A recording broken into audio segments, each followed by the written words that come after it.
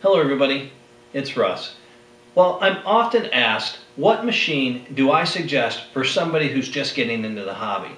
Now this is a great question because there are many, many, many machines out there as well as many things to consider. Uh, number one, what type of metal detecting do you want to do? Do you want a water hunt? Do you want a coin shoot? Do you want a prospect? Another thing to think about is how much money do you want to spend? Do you want to spend $100?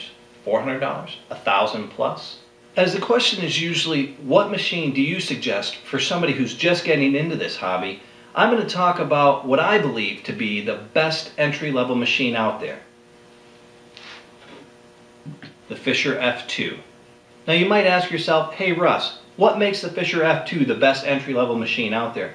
Well first, let me pose a question to you. What is the key lacking feature missing in most entry-level machines? If you were to answer information, well, I'd have to agree with you. The Fisher F2 by far provides more information than any other entry-level machine out there. The F2 uses an 8-segment target ID category system.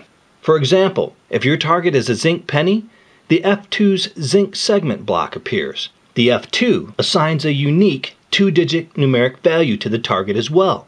This is extremely helpful especially when trying to differentiate between nickels, pull tabs, and gold rings, all of which occupy the same segment range on most detectors.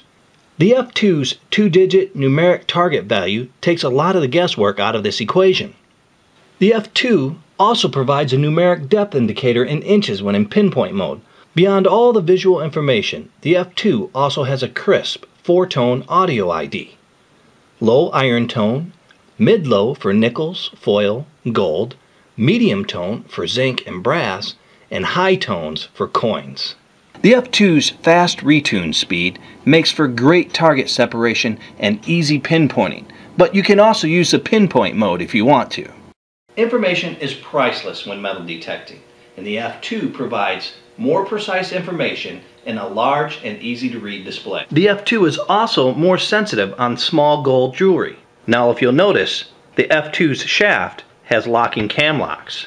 Oh, did I mention the F2 has a five-year warranty? As Sun Tzu said, in metal detecting, numbers alone confer no advantage. Do not advance relying on the sheer power of numbers, or something like that. Basically what Sun Tzu was saying was, just because your friend or your neighbor has a certain machine doesn't mean that that machine is the best machine out there. Do your homework and I'm sure you'll find that the Fisher F2 is a quality built machine that searches deeper and costs less than any other machine in its range. For just $215, you can get a Fisher F2 with an 8 inch coil, a 4 inch sniper coil, and an electronic pinpointer. So I say unto you, warriors of the field, follow not idly your neighbor, carrying his chosen weapon onto the battlefield. Instead, lead thy neighbor onto the field, F2 in hand, giving no quarter, and claim what booty is rightfully yours. For a man and his fisher dominate their environment. Now go forth and do good. Bye.